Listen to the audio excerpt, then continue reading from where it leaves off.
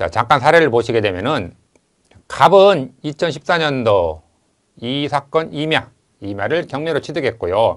이 임야에는 오래된 거죠. 1940년부터 40년부터 을의 조부와 61년 사망한 을의 붙인 분묘가 두 개가 있다는 얘기죠.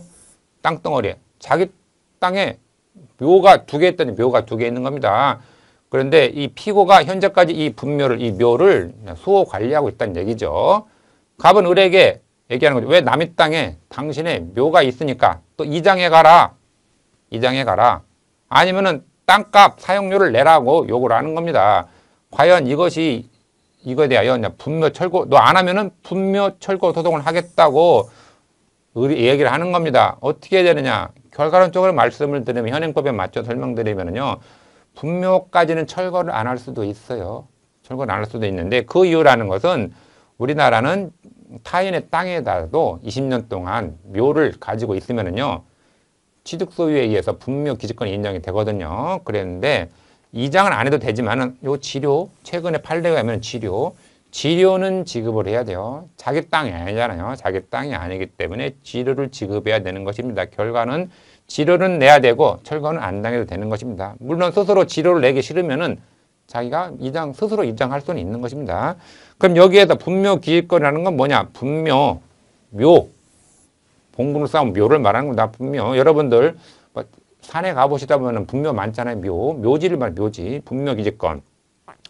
타인이 토지에 자기 땅이 아니라 타인의 토지에 설치된 분묘를 소유하기 위하여 그 분묘 기지에 해당하는 분묘 기지라는 것은 봉분이 있으면은 봉분이 이렇게 있으면은 이게 그 주위 땅들을 사용해야 되잖아요. 이게 분묘 기지입니다. 그 분묘 기지에 해당하는 토지를 사용하는 권리를 말하는 것입니다. 이것은 법에 없습니다. 성문 민법이 아니에요. 관습법에 관습 우리나라 관습법에 의하여 인정되는 물건입니다. 관습법상 물건입니다. 관습에서 인정되는 것입니다.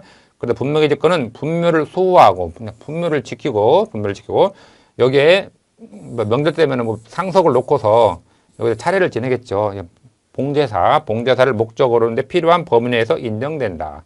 그리고 봉분동 외부에서 본물을 분묘, 봉우리를 인적할 수 있는 형태를 갖추고 있어야 되죠. 그래서 만약에 평장을 했으면 이것이 묘인지 아닌지 알 수가 없잖아요. 그런 건 분묘 기지권이 안 됩니다. 이렇게 봉분이 뿔룩하게 봉분이 있어야 있어야 되는 것입니다. 봉분이. 그, 그 분묘 기지권의 유형을 보게 되면요. 승낙.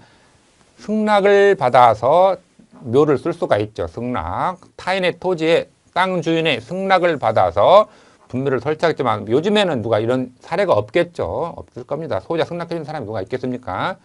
그러면 양도형. 현재 내 땅에다가 내 부모님의 묘를 설치를 했으면 내 땅에 내가 설치한 다음에 내한 다음에 설치한 사람이 그 토지를 팔았어요. 누군가에게 양도를 했어요. 양도하면서 소유자가 달라졌죠.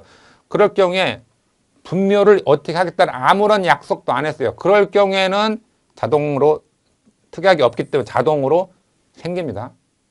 내 아버지 묘를 내 땅에다 설치했다가 땅에 팔렸다. 그래도 여전히 이장하지 않고 사용할 수가 있어요. 승낙형 분묘기지권이 있고 특이한 게 요거예요. 취득시유형. 그냥 무단으로 무덤을 만들고서 남의 땅을 점거하는 겁니다. 취득시유형 분묘기지권이라 가지고 자기 땅도 아니에요. 자기 땅도 아닌데도 불구하고 남의 땅에 가가지고서 승낙도 없어요. 그럼 묘를 땅을 파가지고 봉구를 만드는 겁니다. 이런 일이 많았어요.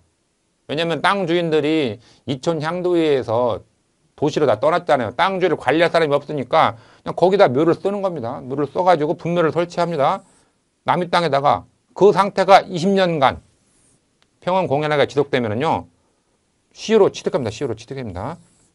시효로 취득. 아까 그래서 이 사례에서도 20년이잖아요. 뭐 1961년, 40년, 20년 이상 점유를 했기 때문에 취득 시효형 분묘기지권을 행사하기 때문에 행사하는 겁니다. 물건 취득한 것 때문에 이장 안 해도 되는 겁니다. 이장 안 해도 되는 겁니다.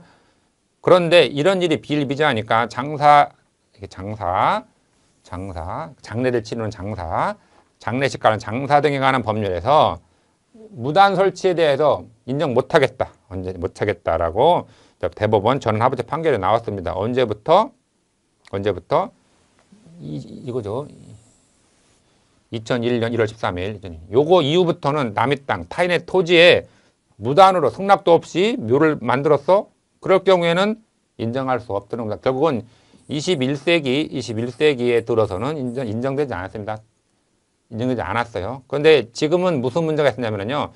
21세기 이전, 이전, 2000년 이전 단계에 있을 때는 다 지금 분명히 인정이 되니까 남의 땅에 가지고 버티는 겁니다. 남의 땅에 버티는 거죠. 오히려 남의 땅이 와가지고 무- 무덤 만들어 놓고서 버티잖아요. 그러니까 주인이 억울하죠. 그러면 땅 사용료라도 내라. 사용료라도 내라. 그래서 최근에 무상 사용 여부가 문제되었는데 최근에 2021년 4월달 4월달 대법원 판례에서 시효 치르겠다, 취도 치르겠다 할지라도 땅 사용료를 내라. 지료가 땅 짓자 요금, 땅 사용요금 남의 땅에다가 묘를 썼으면 은 무상으로 쓰지 말고 이장 이장 다른 데 이장은 안 하더라도 땅 사용료 지료는 지급할 의무가 있다라고 있다라고 최근 전원하부채 대법원 판결 나왔습니다. 그래서 지금부터는 지금부터는 남의 땅에 있다고 영원히 무상으로 쓸 수가 있는 것이 아닙니다. 그래서 땅 주인이 무슨 묘 봉제사 모시는 사람에게 무덤 사용료 땅값 내놔, 땅값 내놔 할 수가 있겠죠. 그럼 땅값 내기 싫으면은 이장을 한다든지 이렇게 하겠죠. 그래서 연구 무한적으로 인정되는 거 지금은 지료는 지급을 해야 된다.